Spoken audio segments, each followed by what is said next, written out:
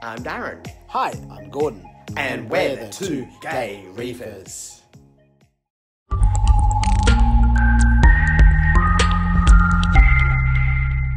Hey Reefers, today we're going to look at the Red Sea Skimmer and what it's like in our life six months later on. We've had this skimmer now for six months. We check out the other videos up here about the uh, Red Sea skimmer. These things are fantastic. Uh, it was definitely a game changer when we put it into Reefzilla. Uh, it was just the right size for the tank. It worked perfectly. It's so easy to adjust. Just a few simple turns, not even like little turns, and you can see the head height of the bubbles like straight away change, which is really easy to make small adjustments. And it's so quiet, you can barely even hear it uh, operating when it's in the system.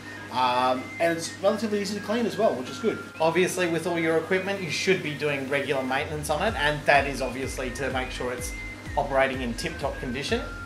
And also uh, makes makes your, your, gear last longer as well. So all it takes is a little bit of uh, grind under a grime under a, uh, a impeller, and it's going to stop working. It'll not work to its full capacity. Snails, especially really small snails, get absolutely everywhere once they start breeding in your tank one of those on an impeller or something that rotates just makes it a little bit more off balance and then that starts collecting and then it starts getting tipsy topsy and then it it just builds from there. So maintenance is awesome. Should be doing it regularly. We're going to strive to do it more regularly on Reefzilla now that we're putting it all back together. So let's get into it. Let's get the uh, Red Sea skimmer out of the tank and uh, take it into the kitchen and start giving this thing a clean Something that we should be doing very often is obviously emptying the skimmer cup. This has probably been about a week. One thing that I like to do daily is it does have a blade inside which just cleans the inside of the neck. So a few turns on that every day. Then we've got the hose. I love this because it really shows how well the skimmer works. So open up the hose Oop, there we go.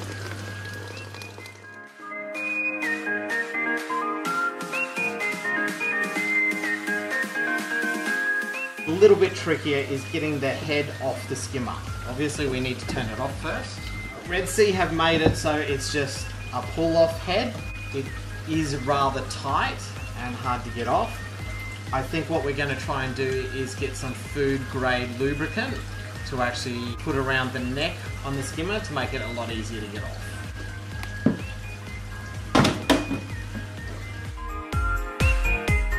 With the skimmer head, I like to give it a clean every two weeks.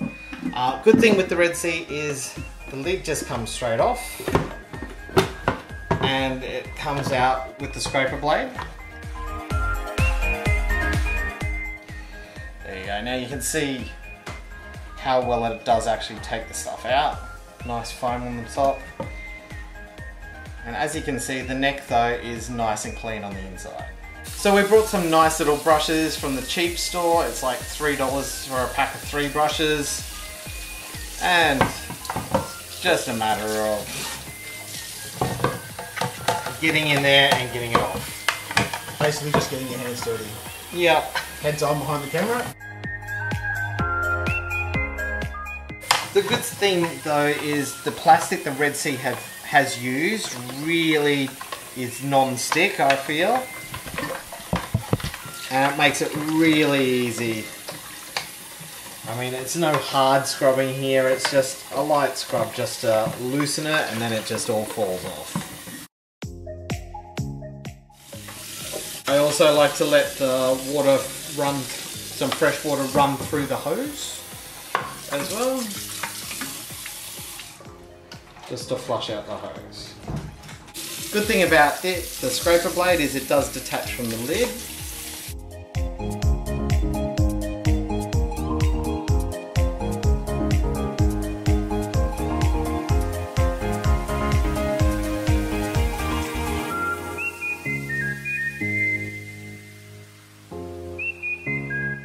So as you can see, there's quite a bit of build up on the inside, not too much really. Generally everything's just a bit gunky.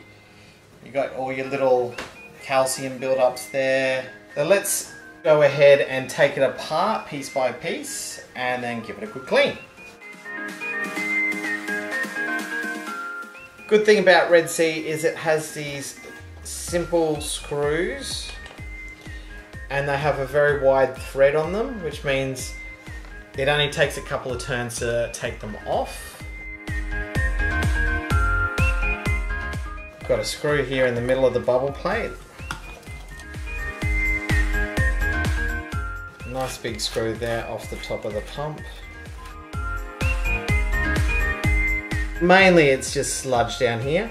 There's a nice little locking component there that keeps the cord in place. And then the pump just lifts off like that. So these ones here lock in the motor holding plate so you can actually rotate the orientation of the motor so you can actually have it configured so it sits different ways in your sump. So let's get this all cleaned.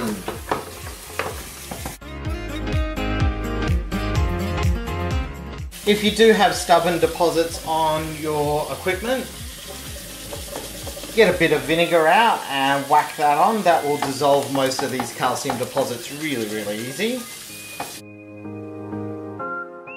Now being six monthly, you might say, wow, you're going to a lot of trouble cleaning off the edges of the equipment.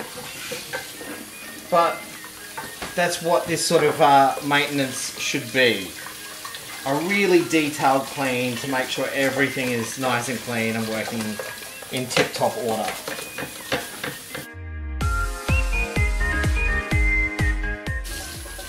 So this is the little rubber notch that holds the cord in place to stop it falling out and floating around in the water. Drain catchers or whatever those things are. Good idea. Yeah, it's a must with this sort of maintenance. Always have your drain catcher in so it stops stuff going down the drain.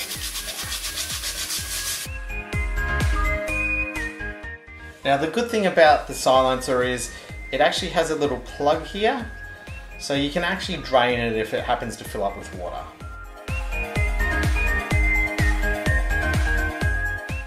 So as you can see the body is quite large. It's always good to have a good big sink if you can. I mean, you could even have a nice big tub outside, big plastic tub would probably be good. The thing I like about the Red Sea Skimmer as well is you actually have to assemble a fair chunk of it. But as Jake Adams from Reef Builders says, new equipment you should really disassemble it first so you get to know it and know how it works. And then that way, when you do come to clean it, you know exactly how to take it apart and then put it back together. As you can see, really easy just to loosen all the grime on these Red Sea skimmers just with a brush.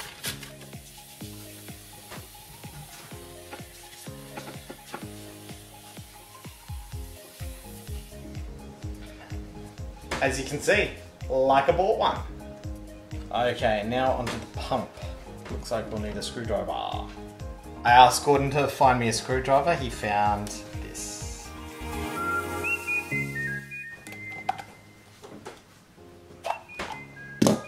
So, little bit of force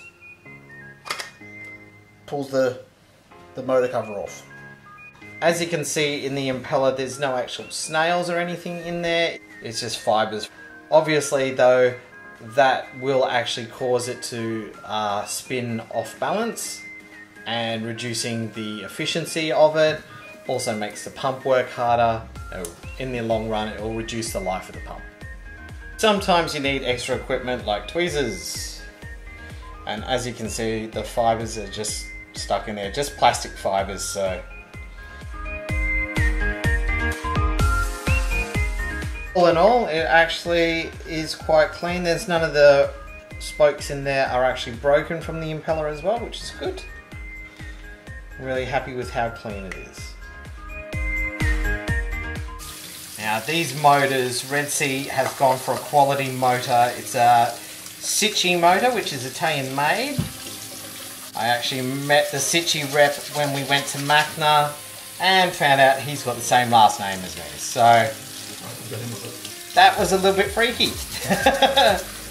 now, just being obvious here, but being an electrical motor, make sure you don't have it plugged in, make sure you don't get any of the water on the plug itself before you plug it in. Make sure you, it's dry before you plug it back in. So now it's just a matter of reverse engineering everything.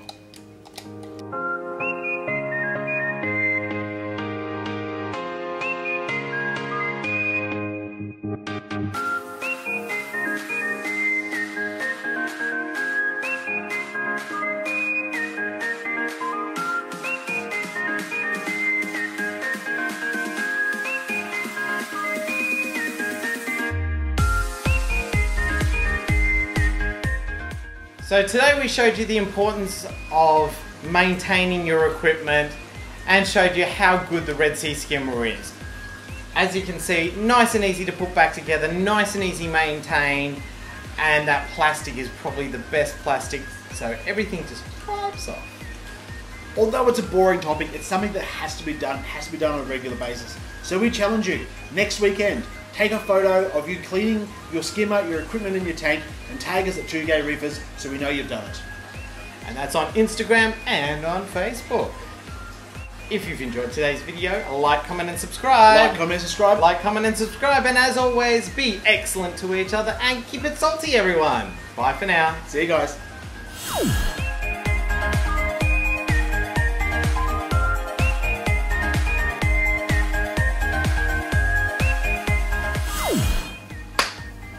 Hey Reefers, today we're going to look at the Red Sea and what it's like six months up.